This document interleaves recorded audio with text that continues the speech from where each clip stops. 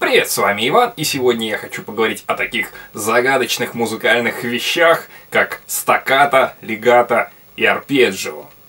Стаккато. Переводится этот термин как просто отрывисто, и звучит оно примерно вот так.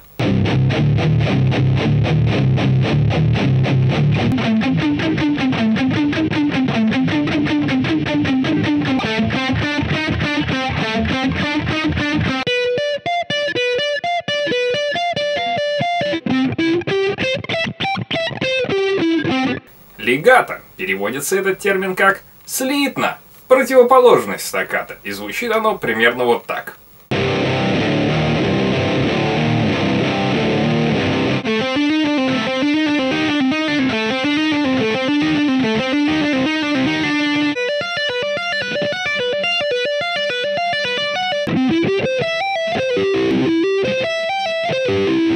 Теперь вы меня спросите, ну как же так? Ты только что использовал различные техники игры на гитаре. Ты использовал э, хаммероны пулофы, палмьют, э, тэппинг. Как это относится к стаккато и легато? И вот тут ключевой момент. Дело в том, что стаккато и легато не являются техниками игры на гитаре. Это общий музыкальный термин, и стаккатно и легатно можно играть не только на гитаре, но и на пианино, фортепиано, рояле, или тромбоне, или, или на флейте. Это не техника игры, это стиль игры. А уж какой техникой применительно, например, гитаре, это дело достигается. Это уже, собственно говоря, дело игрока. Еще раз. Легато. Стиль игры слитно каждая нота играется друг за дружком подобно течению ручья. И следующая нота не начинает звучать до тех пор, пока не закончит звучать предыдущая. Первая нота затухает и плавно перетекает в следующую ноту. И так происходит со следующей нотой, и со следующей, и со следующей. Как течет река. Стаката – полная противоположность, как хождение по ступенькам. Одна ступенька, вторая ступенька, и тоже ноты идут друг за другом, они не звучат одновременно. Это такой монофонический эффект, а, как будто бы. Со стаката и легато разобрались, а что же у нас арпеджио? Арпеджио – это тоже термин из классической музыки, и означает он «как на арфе». Когда требовалось а, указать композитору, а, товарищу с роялем играть ноты последовательно в аккорде, то есть, подобно тому, как это играет арфист на своей арфе, или, скорее, арфистка, ноты подряд, вот так. Придумали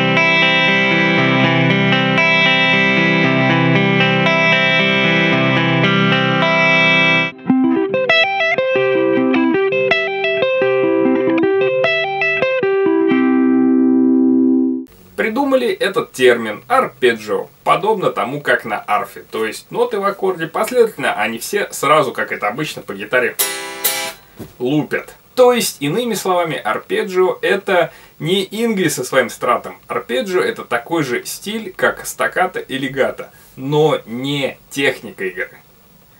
Техника игры, которую использует ингли свет солнца Мальмстин, называется свип пикинг, штрих-метелка расшифровывается буквально свип пикинг. Вот такой вот могучий. Почему метелка? Да потому что вот такое движение делается медиатором при движении вниз. Все удары вниз, при движении вверх, все удары вверх. Это позволяет экономить штрих, развить большую скорость. Давайте же подробнее рассмотрим простейший пример игры арпеджио техникой свип пикинг. Причем еще и это арпеджио будет сыграно легатно. То есть не не дзынь-дзынь-дзынь, все ноты зазвучали, а друг за другом. Регата, как мы уже с вами видели. Берем самое простое мажорное трезвучие, до мажор, оно состоит всего лишь из трех нот, до, ми и соль. И э, еще из трех нот через октаву, до, ми, соль. То есть у нас получится...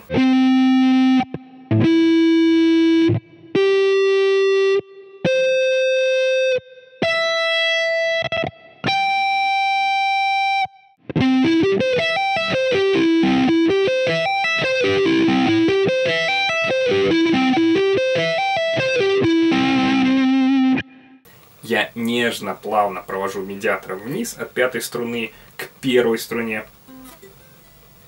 И на первой струне я делаю хамерон pull-off.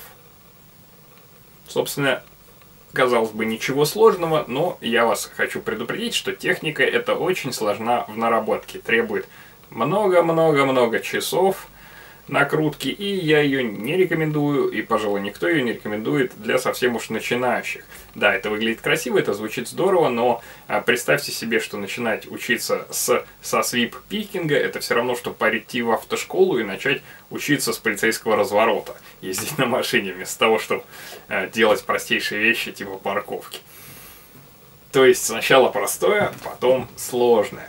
В тот момент, когда вы дошли до первой струны, сделали Хамерон, pull-off, здесь нужно развернуться и потащить медиатор вверх. И вот этот момент является на самом деле одним из самых сложных, потому что развернуться назад нужно без паузы, практически мгновенно. То есть остановить руку свою как ниндзя в полете и запустить назад. И потом все это повторится снова и снова и снова.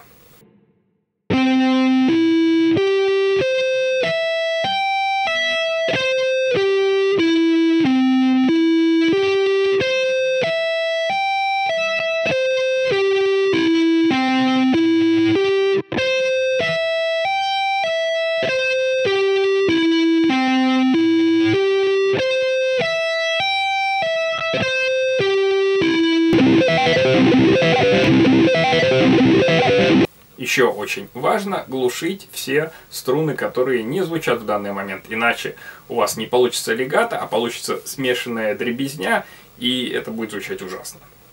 Интересно, но того же самого эффекта можно добиться не при помощи свип-пикинга, а при помощи тэппинга двуручного. Это будет выглядеть примерно вот так.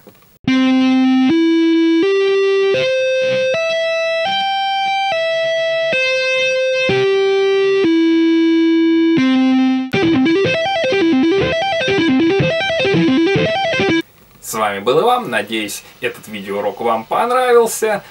Ставьте лайк, подписывайтесь на мой YouTube канал, смотрите мои видео. Пока!